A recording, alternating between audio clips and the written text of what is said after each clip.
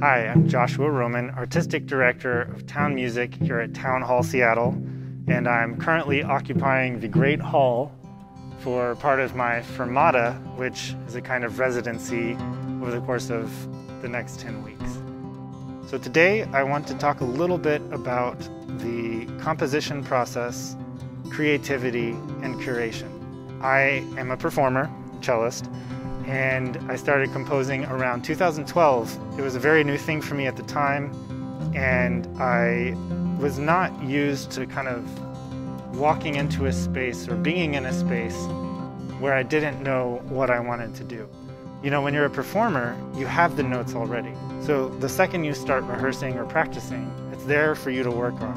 When you're a composer, you are in a room with a blank sheet of paper and you have to turn that into a piece of music. When I first started, I got lots of advice, and one of the most helpful things that I learned was from a lecture on creativity by John Cleese from Monty Python, where he was talking about the need to sit with boredom, to take time, to let things come up as they would, and not to judge them immediately, but to let them be what they were. This experience for me is most vivid when I relate it to a piece that I wrote last year for the Pro Musica Chamber Orchestra in Columbus. There was a day when I was trying to figure out this certain section and I knew what I wanted it to do. And I was trying to find the chords, the harmonies, and the way that they would shift. I had this very clear picture in my mind of the feeling that I wanted to get across.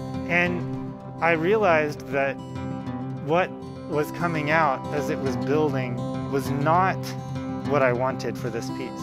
And at that moment, I had a choice. I could set it to the side, forget about it, don't even write it down, or I could follow this creative impulse that I was actually really excited about and see where it led. I'm really glad that I did because the piece that came out of it is something that I actually liked. I don't love everything that I write, but it's not at all what I'd set out to do. And if I had not given myself the space for creativity and the patience to follow what was actually coming up in the moment that I was there, I would not have this piece that I'm going to share with you today.